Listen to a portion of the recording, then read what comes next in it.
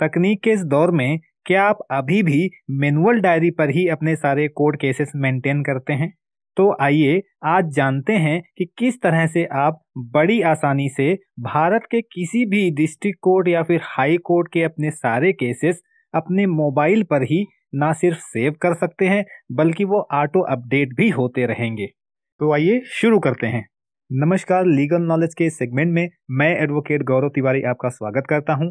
यहाँ हम कानून से जुड़े विभिन्न जटिल विषयों को सरल और रोचक ढंग से आपके सामने लाते रहते हैं। इसलिए अगर आप हमारे चैनल पर नए हैं तो चैनल को सब्सक्राइब कर बेल आइकॉन पर क्लिक करना ना भूलें, ताकि हमारे नए वीडियोस का नोटिफिकेशन आपको मिलता रहे।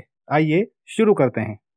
मित्रों, अब आप घर बैठे ही भारत के किसी भी डिस्ट्रिक्ट कोर्ट या फिर हाई कोर्ट के किसी केस का स्टेटस जान सकते हैं, जजमेंट डाउनलोड कर सकते हैं, या फिर सुनवाई की अगली तारीख भी जान सकते हैं। इसके लिए आपको करना यह है कि आपको अपने फ़ोन के प्ले स्टोर से ई कोर्ट नाम की एक एप्लीकेशन को डाउनलोड कर लेना है। ई कोर्ट भारत सरकार के राष्ट्रीय सूचना प्रौद्योगिकी मंत्रालय एनआईसी द्वारा विकसित एक मोबाइल एप्लीकेशन है, जो देश भर के विभिन्न अदालतों में चल रहे मामलों की जानकारी उपयोगकर्ता को निशुल्क प्रदान करता है। फ्रेंड्स इस सेगमेंट में हम इस एप्लीकेशन के कई हिडन फीचर्स के बारे में बताएँगे, जो आपके बहुत काम आने वाले हैं। इसलिए वीडियो को बिना स्किप किए अंत तक देखें। एप्लीकेशन को डाउनलोड करने के बाद सिंपली इसको ओपन करना है। अब सबसे पहले ऊपर कॉर्नर में ही आपको तीन लाइन दिखाई देंगी। इसको टच करना है। टच करते ही एक मेन्यू आपके सामने खुल जाएगा। इसमें आपको सेटिंग के ऑप्शन पर क्लिक करना है। यहाँ आपको तीन ऑप्शन दिखाई देंगे, डिस्ट्रिक्ट कोर्ट, हाई कोर्ट और बोथ। आप अपने अनुसार किसी विकल्प का चयन कर सकते हैं।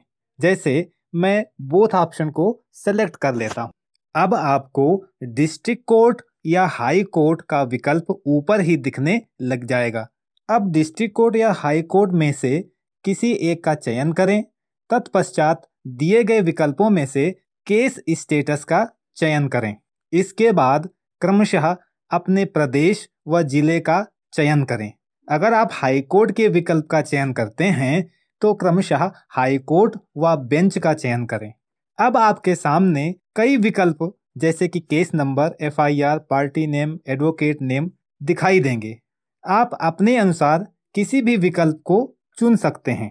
उपलब्ध ब्यौरा भरकर सर्च पर क्लिक करें और कुछ ही पल में सारी जानकारी आपके सामने होगी। अब आपको ऊपर कॉर्नर में ही ऐड टू माई केस का विकल्प दिखाई देगा, जिस पर क्लिक करते ही वह केस सेव हो जाएगा।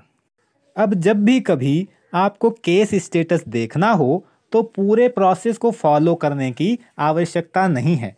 आपको केवल ऊपर कॉर्नर में ही दिए गए माई केसेस पर क्लिक करना है और आपके सेव किए केसेस आपके सामने होंगे। और सिर्फ़ यही नहीं, ये ऑटो अपडेट भी होते रहेंगे। मित्रों, आशा है ई कोड ऐप से जुड़ी ये जानकारी आपको पसंद आई होगी। अगर आपके कोई सवाल या सुझाव हों तो हमें कमेंट बॉक्स में ज़रूर बताएँ। ऐसी ही रोचक और उपयोगी जानकारी पाने के लिए हमारे चैनल को सब्सक्राइब करना ना भूलें। मिलते हैं एक और नए वीडियो में ऐसी ही उपयोगी जानकारी के साथ। तब तक के लिए नमस्कार।